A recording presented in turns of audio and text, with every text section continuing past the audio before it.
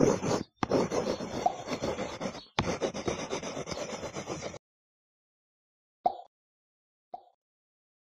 جملہ ہدیہ کرتا ہوں خطیب اہل بیت قبلہ اظہر حسن زیدی صاحب اللہ مقام کا۔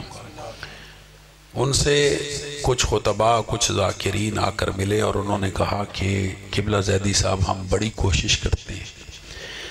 دنیا والوں کو آیات سناتے ہیں، حدیث سناتے ہیں، معصومین کے فرامین سناتے ہیں تاکہ دنیا اہل بیت کے قریب ہو جائے۔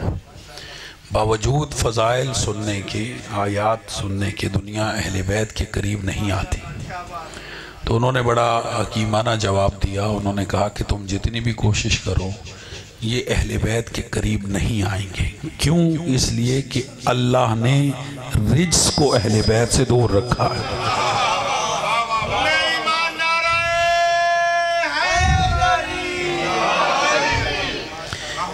اگر قرآن مجید پہ آپ غور کریں جی قرآن مجید پہ تدبر کریں تو اللہ نے ایک سو بائیس قسمیں رجس کی بیان فرمائی۔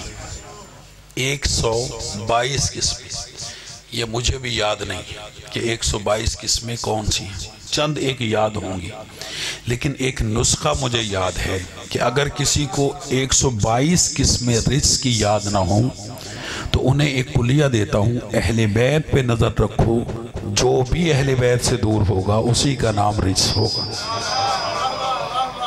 چونکہ اللہ نے رجس کو اہل بیت سے دور رکھا۔ رجس اہل بیت کے قریب نہیں آ سکتا۔ اب امام کا فرمان سنیں۔ چھٹے امام سے ایک شخص نے سوال کیا۔ شاہ جی جملہ قابل توجہ ہے۔ کلام الامام امام الکلام۔ شاہ جی امام کا کلام کلاموں کا امام ہوتا ہے۔ یعنی جتنے کلام ہیں، ان کا امام ہے اماموں کا کلام۔ امام سے ایک شخص نے سوال کیا کہ یبنا رسول اللہ، یہ فرمائیے کہ یہ جو اللہ نے کہا کہ میں نے اہل بیت سے رجس کو دور رکھا، تو یہ رجس کب سے اہل بیت سے دور ہے؟ ہو رہا ہے یا نہیں خدا جو کہتا ہے کہ میں نے رجس کو اہل بیت سے دور رکھا تو یہ رجس کب سے اہل بیت سے دور ہے؟ امام نے فرمایا کہ تجھے آیت توحید یاد ہے، سورہ توحید یاد ہے۔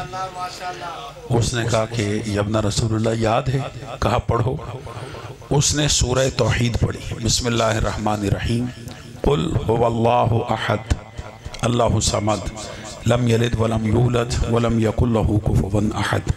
کہا کہ میرا حبیب کہہ دے کہ اللہ احد ہے۔ قل هو اللہ احد، کہ اللہ احد ہے۔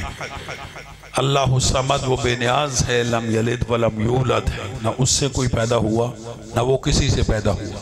امام فرماتے، تو نے سورہ توحید پڑھی، کہا ہاں مولا پڑھی۔ کہا اس میں خدا کہہ رہے حبیب کہہ دو کہ اللہ ایک ہے۔ کہا کہ بالکل یہی اللہ نے کہا۔ امام فرماتے میں تجھ سے پوچھتا ہوں کہ اللہ کب سے ایک ہے؟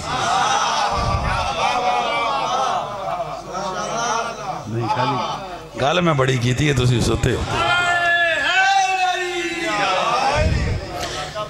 اس نے دوسرا سوال کیا، اس نے کہا، کیا اہل بیت اس وقت پاک ہوئے کہ جب اللہ نے آیت تطہیر بھیجی یا اس سے پہلے بھی پاک تھے؟ تو امام نے فرمایا کہ تو نے آئے سورہ توحید پڑھی جس میں خدا کہتا ہے، حبیب، کہہ دو کہ اللہ ایک ہے۔ تو بتا اللہ کب سے ایک ہے۔ جب اللہ نے قرآن میں آیت بھیجی، اللہ تب ایک ہوا یا اس سے پہلے بھی ایک تھا؟ توجہ ہے یا نہیں جب اللہ نے قرآن کی آیت بھیجی، اللہ تب ایک ہوا یا اس سے پہلے ایک ہوا؟